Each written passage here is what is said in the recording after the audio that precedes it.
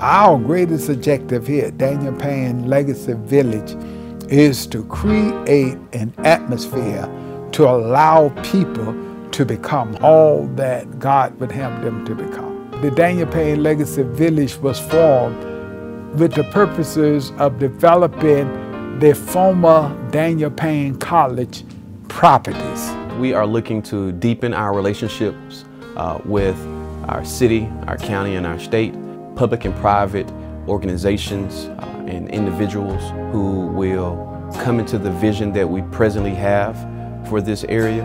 Um, thereafter, we have galvanized our community and, and galvanized the leaders involved.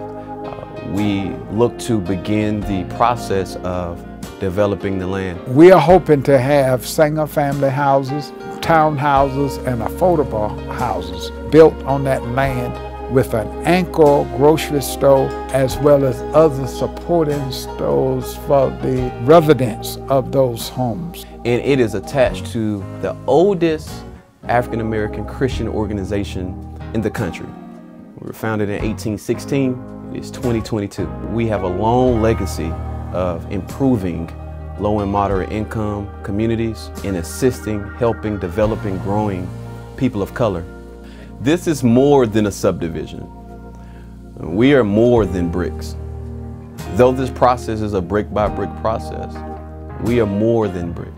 The, the ministry is moving uh, beyond what we do to the people are catching on and sharing. This is not just a Daniel Payne Legacy board project, but it's a project that consists of all the people that's a part of the AME Church in the state of Alabama. They give, they make gigantic sacrifices, they do so many outstanding ministries in the different parts of the state. Uh, when the civil rights movement came about, they believed in their hearts. If we could do it here, we can do it anywhere.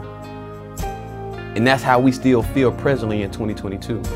What's coming out of the South is this passion from us it's this confidence that we have overcome so many things. We overcome the heat in the summer.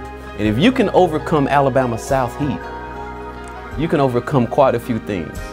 We are hoping to meet the needs of those who need affordable housing and those who need upward mobility in order to get better jobs and those who have attained that level would also feel comfortable living in the community. This is a beacon that we are sounding off here in the South as a representation of what the future can hold, not only here in Birmingham, but anywhere in the United States.